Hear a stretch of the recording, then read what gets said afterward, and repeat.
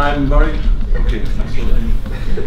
Well, you're probably going to talk this direction, so. I would very much like to thank uh, the organizers for inviting me here. It's a very uh, impressive audience. Um, I'm also very happy that um, a small article of mine was included in this, this book, which I'm also happy about.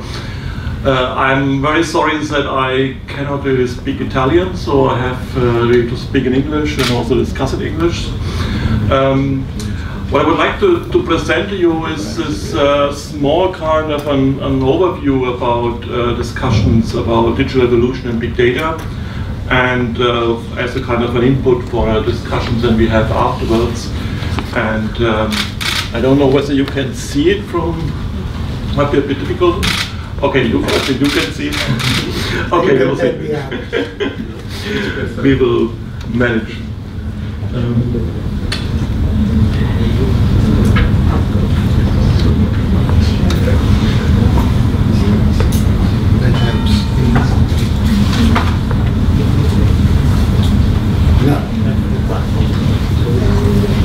But technology seems to be overwhelming.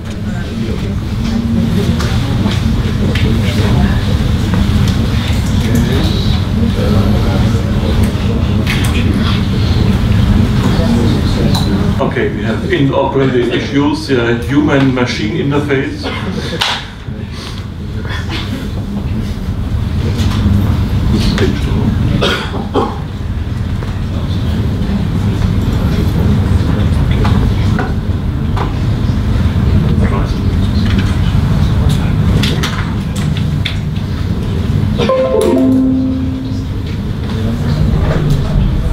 Okay. Wonderful. Now, I think uh, what I'm starting with fits very well um, what um, uh, has been said before. What we have to understand is that the digital revolution, and I would like to call it really a revolution, is really a Schumpeterian revolution in the sense it's disruptive, and it's leading to a technological, economic, and also social revolution. And it's really creative destruction of old market, old industry through new markets, new industries. and it's, but it's also changing how the entire economy is working and also, also our entire society is working. Therefore, it's really a big issue. You all know the new business models and tech companies, Google, search engines, Facebook, the social media, other platforms, Amazon, etc. But the new, uh, new uh, aspect is now data as a critical resource. That's with big data, but big data is not only about data, it's also about data analytics and what we do as a result of data analytics. And then we are the discussion about algorithms. And it's always related to what we call data-driven innovation. And these data are still getting more important in the future through the Internet of Things, which is right now starting everywhere smart homes, but also connected driving or later autonomous driving, smart manufacturing in regard in the manufacturing industry with informationally integrated value chains.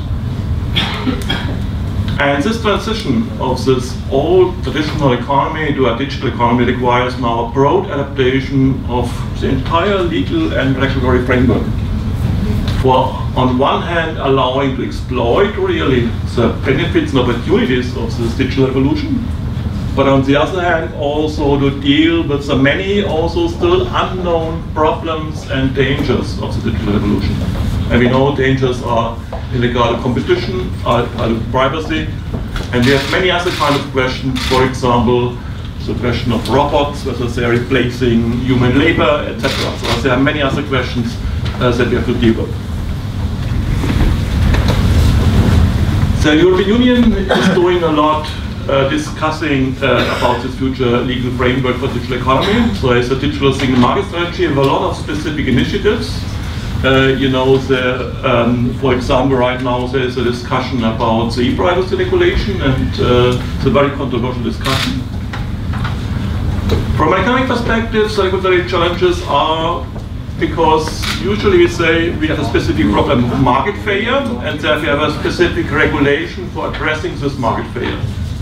And now the digital revolution means that on one hand we might have entirely new market players, on the other hand there might also be old market players which perhaps vanish and we don't need regulations anymore or that regulations have to change because what's now the best regulatory solution might be a different one than before because of the new technology possibilities. And I think also that the digital revolution is a systemic innovation, meaning that uh, it also requires an integrated, well-coordinated adaptation of different regulatory policies. Now you can see here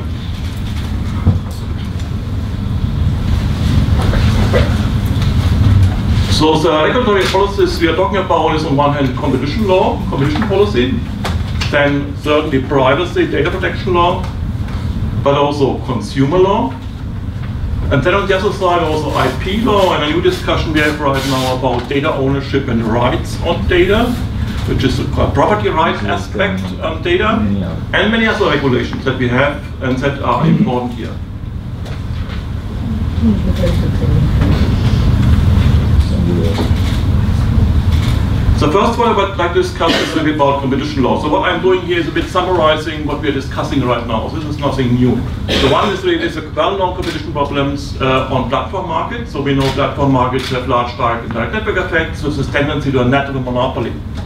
And this is still an unsolved problem, especially because um, collected data also uh, play a role here. And we know that platforms as Google and Facebook seem to be quasi-monopolistic. We, we do not really know how we should deal with this. And we have others as Amazon Apple where we think this have considerable market power, but we also have problems how we deal with this and categorize this from a competition law perspective. Possible solutions that are um, discussed in regard to this weak competition between platforms on one hand with accumulated data that we see in the essential facility with perhaps access solutions, perhaps a radical solution, or the data portability issue which comes from data protection law and which also might perhaps help um, competition among platforms through uh, reducing switching costs. Now if you look at the specific pillars of competition law, on the one hand abuse of dominance, we can talk about exploitative abuse if there are too many uh, data collected as a kind of a price abuse, yeah, and there's not enough private privacy protection. And the other aspect where you can use Article 102 is um, if you are uh, see refusing access to data under certain conditions as abusive uh, behavior. In regard to merger policy, um, the point is that what is really is a question is how can market power emerge through data and how we are dealing with this. And this also is not a clear issue so far. So the question is how we can take into account data in that aspect in merger cases, but also perhaps the capabilities of data analytics, because it's not only about data. Yeah? And the other question is always how we define markets, and this is uh, especially difficult in regard to data in merger cases. And the one question is always horizontally, um, whether there's a monopolizing or too large concentration of data, especially specific data, or vertically about the access of firms on up and downstream markets to essential data. And these are issues uh, that are being discussed right now. In the to cutouts, we can talk about collusion, and there are two discussions. So one is really about whether certain kind of data sharing between firms has to be seen as information sharing agreements which might alleviate and facilitate really price collusion especially our hub and spoke aspect, hub and spoke uh, cartels. And the other discussion we have gotten uh, recently is whether price setting algorithms might lead to price collusion. And this is also a very interesting and very hard to analyze from an economic perspective uh, topic. The other question we can also talk about is uh, cartels in regard to data, data pools. So as we have patent pools, we can also talk about data pools. And one interesting question is also whether there is a collusion about technical data solutions. This is also, I think, an interesting uh, future topic. One specific problem competition law has, and also competition economics has, that we usually focus entirely on the effects on specific markets only. And we are not good at really looking beyond specific markets. That's exactly the problems we have right now in the digital economy, is that many effects are beyond specific markets. And this is something uh, where we as economists have problems and you as lawyers also have problems to deal with this in competition law. then my second perspective is now consumer and data protection problems. And um, you know that consumer policy from an economic perspective is always about the market failure in regard to information and behavioral problems or rationality problems. Data protection is on one hand different because data protection is really about protecting privacy as a fundamental value, which is always a bit difficult for economists to deal with this because they're afraid of too efficiency. But I think it's very important uh, seeing privacy as a fundamental value. But what we have in data protection is consent principle about processing using of personal data. And if you look what the real problems in are, then we have in data protection rather similar problems to consumer protection concerns, exactly about information problems and behavioral problems. And this is then the discussion that we have also among contract lawyers about data, data as counter performance for free services. And the question is, do these markets work? Do they really work? And can users fulfill their privacy preferences? This is how I would put it as an economist. And I'm very skeptical about this, because what we see is that there's often no choice between using a service with and without collection of personal data, and also not enough choice between sufficient privacy options. This is what we see empirically, and I think this is a problem. Yeah, also from an economic perspective. Now this is also directly related to what we know for a long time, the social privacy paradox. Uh, we know that internet users are on one hand concerned about privacy and say this is very important to them. On the other hand, we are looking what they're really doing. Then we are seeing they behave very differently and they're very generous and do not really uncautious in regard to the data. So the question is how do we how do we interpret this kind of behavior? Do people not care? But we can see, and there's a lot of empirical studies about this, that in this regard, uh, people have a lot of behavioral problems, especially because there is a huge uncertainty about potentially harmful effects. Nobody knows what people, what firms are in the future doing with data you are giving now. Yeah, there's entirely uncertainty about this, not, not only intransparency, also uncertainty about this. And therefore, it's very hard to make any kind of rational decisions about this. Yeah? And the problem is also the other problem we know very well, privacy policies are intransparent, too long, incomprehensible, and also I never read them. And this also leads to a very important question, and a difficult question is that right now we have in data protection law really this idea that every, uh, that the main pillar is really notice and consent solutions. So inform people and they are consenting. And the question is whether this really works as a basic approach. And the first thing is not clear what informed consent really means, yeah, legally and economically. And uh, we got an increasingly critical discussion whether it's possible at all to rely on individual consent as a fundamental barrier, or whether we need different kind of uh, really solutions. Yeah? And this problem will increase dramatically with more IoT contexts, with more IoT uh, applications, because then you have the sensors everywhere in the, on, in the offline world. Everywhere you are, there will be sensors who are really uh, generating data about you. Yeah? And what then uh, consent, consent means is not clear anymore. Now what can be done? So the traditional solutions are always more information requirements, privacy by design, privacy by default. I think this might help, but only to some extent. Yeah, you can talk about minimum standards for transparency, more privacy options. Perhaps it's interesting really to see whether it will be successful to implement an effective system of data portability. This is a very different approach also. But what I think is also important to see the interrelationship between competition and data protection. And that's exactly that we have to look from both sides on this. I think if it would be succeed to having more competition, better competition among platforms, then also we might get better data protection because there might be a competition for privacy-friendly uh, solutions and less data collection. And if we could, would get better data protection, then we might get more competition, for example, through data portability. So these are interrelated and there is an interplay between both policies. This we have to understand. My third uh, field is now this new topic of data ownership, data economy, rights on data, data trading, um, access to data, which is a very recent discussion. Um, and this has two aspects. One is about non-personal data or industrial data, and the other is about personal data. And got non-personal data, this is uh, based on this new communication of the European Union, uh, building a European data economy from the January this year. Um, the basic concern of the Commission is that many firms have collected and produced a lot of data, but they are only using it in-house for themselves and do not share them and do not really trade them, and therefore these data are not used enough and since data is a non-rival good from an economic perspective, data should be used as much as possible. So this is a problem. Um, the, communica the, communication makes two uh, main kind of, of, proposals. The one is introducing a data producer right, which is a kind of a new IP-like right for non-personal data.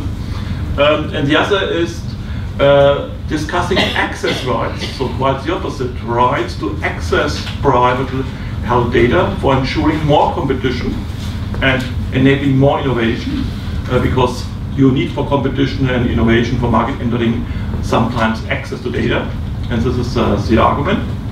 If you look at this from an economic perspective, and this is what I've uh, worked on also this year, is um, I think a new exclusive property right on data cannot be recommended because there is not really a clear market failure that so is solved. So there's no need for it, and I think it's more dangerous uh, for innovation because it might innovate, um, might impede innovation, especially in big data context where we need access to many data. But rights to access certain privately held data, there might be, I think, uh, under certain conditions. There might be good economic reasons why we think about this, to introduce this, um, but this has to be analyzed very carefully and more sector specific uh, for finding good solutions. In any case, what we need is uh, looking more on data trading and the problems of data trading, because data trading does not work so far very well, but it does not seem that lacking property rights are the problem. There are the problems. Now to personal data. We all know that GDPR um, comes into force next year with strong rights, or radically strong rights for protecting personal data. But I think many questions, so far I've understood, many questions remain how the specific rules will really look like and how they will be applied. And we see right now the discussion about the e-privacy regulation. There are many open questions. From economic perspective, it's very interesting because on the one hand, um, you have a trade-off between really the privacy of individual persons, of the privacy of all of us as persons. Yeah, so one keeps certain data private, and that there's an economy out there and there's a state out there who could make uh, good benefit, can have good benefits from our data. And there are conflicts, very basic conflicts um, between this privacy protection of persons and the huge advantages for the economy. Also in respect of international competitiveness of European firms, also have also this industrial policy perspective, the state for improving public policies, and also scientific research. And it's not clear how these trade-offs are really will be solved politically in the future. I'm a bit worried as a, not as an economist, as a private person, that privacy might also be on the losing side in this kind of uh, discussion. Now, the discussions about the concrete scope of privacy protection, um, where do we draw the lines? And I think one thing is um, for which uses of personal data is explicit consent necessary, and where is it not necessary. So in that respect, in, in the GDPR, I've understood there's also possibilities of uh, balancing interests when you need consent and why not, and also um, other possibilities. Um, there's a discussion now in the e-privacy regulation about metadata of communication, for example, whether you need consent or not for certain kind of things. Um, and if consent is necessary, then in what form? Opt-in, opt-out, privacy by default or not? These are all possibilities how you can change the, the line between privacy and the data economy. And the other question is, um, what I also have learned about anonymization, which is usually seen as a solution to everything. But we also know that um, it's not clear whether anonymization is working because data scientists talk all about that you can re-identify. And it's also a question of degree. So it's about the degree of anonymization and where to draw the line here. So I think these are the very interesting questions and trade-offs that have to be decided. Now, all of this is getting more difficult through the Internet of Things. And um, I also uh, was on a conference in, in, uh, in June in Brussels about Internet of Things. Uh, and what I learned also here is um, we have so many unsolved regulatory challenges in the Internet of Things. Um, security issues, liability issues, then the whole question of interoperability, because you would like to connect everything, then you need have to have standards. All of this does not exist really. You have the privacy data protection issues, what means consent with your smart TV, for example. And then who is owning the data? Who has control about the data, about what kind of data, and who gets the benefits of that? All these things are not clear and open questions. Yeah, and I found very interesting. I heard uh, yesterday that the German uh, Bundeskartellamt has initiated a sector inquiry on personal data in regard to smart TVs. For exactly analyzing contracts with, of, of TV manufacturers, what contracts they have uh, with, the, with the buyers, and analyzing this because they have think there's a problem with that. Now, one important example which I am working on right now is data governance in connected cars. So data in the so-called in-vehicle data. This is very interesting, very complex, but this is already existing. So we already have connected cars. Um, and there's an EU policy discussion about this. Um, the current model is what car manufacturers are doing is a so-called extended vehicle concept, which is also the model of the car manufacturers association. Um, and this would mean that all data of the sensors about driving behavior, whatever, go directly to the server of a car manufacturer and they have exclusive control about this.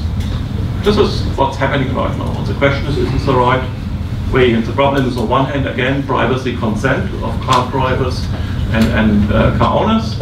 And the other problem is, and this is a competition problem, is about access to illegal uh, data for independent service providers, repair services, maintenance service providers, but also many other service providers who want to provide services to the car passengers and have to go have access to the car.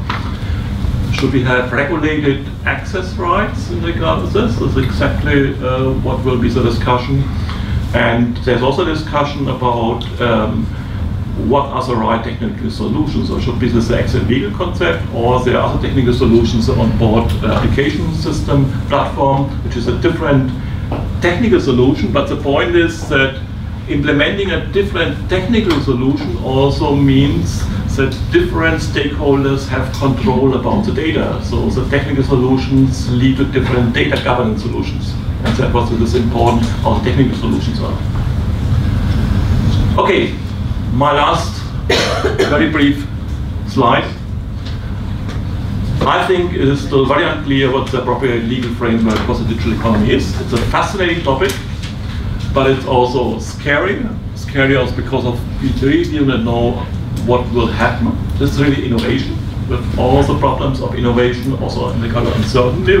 Don't know what will happen in the next 10 years, but we have to react on this and we have to develop solutions. And I think there will be many adaptations necessary. The Internet of Things will increase these regulatory challenges significantly in comparison to what we have today. And what is important, and I think this has already mentioned, uh, it will not help if scholars and policymakers in each regulatory field try to find suitable solutions separately. So we really have to work together. What we need is the analysis of the interplay between the regulatory policies and trying to find a more integrated approach to that. Yeah, and therefore I think it's important to have a well-coordinated adaptation and a well-coordinated application of regulatory policies and collaboration of the regulatory authorities. And I have understood this, what we are doing here today exactly in this kind of basic idea. Thank you very much.